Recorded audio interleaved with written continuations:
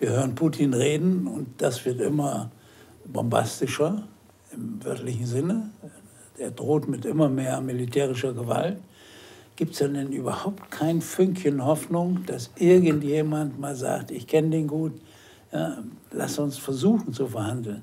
Ich sehe das auch in der Europäischen Union nicht. Da, da reden wir alle, auch wir Journalisten, über welche Panzer haben wir noch, welche Panzer können wir liefern, welche Systeme können wir liefern. Zelensky war gerade in Washington, hat Patriot-Abwehrsysteme gekriegt, aber auf ewig können wir die ja auch nicht liefern. Die Bundeswehr ist schon blank oder nackt, wie der äh, Inspekteur gesagt hat.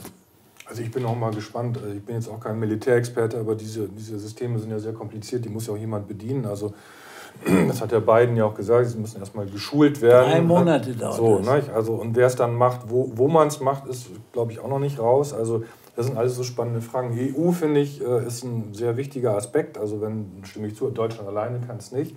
Äh, vielleicht würde irgendwas im Verbund äh, mit, mit den anderen europäischen Staaten gehen. Gerade, gerade Frankreich, vielleicht kann man in der Frage auch nochmal wieder auf Großbritannien zugehen. Das kann, man, das kann man ja lösen, auch wenn die nicht mehr in der EU sind. Aber dass es da, dass es da einen Verbund gäbe. Äh, sehe ich aber im Moment auch nicht. Also da fehlt es dann auch tatsächlich an Initiativen.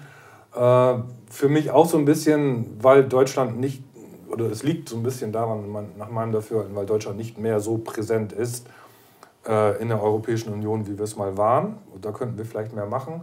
Äh, Herr Macron macht gerade auch nicht so viel. Da spielen, glaube ich, dann ganz elementare französische Sicherheitsinteressen rein, die, sich, die auch nicht immer mit den unseren äh, deckungsgleich sind. Aber ich würde schon sagen, also ich würde mir wünschen, dass bei der EU mehr passiert. Ich würde mir auch wünschen, dass Frau von der Leyen nicht ständig immer von einer europäischen Armee redet, die wir sicherlich irgendwann mal brauchen. Das macht, das macht vielleicht äh, strategisch Sinn. Aber in diesem Augenblick sehe ich das auch so. Man müsste wirklich versuchen, mehr zu reden.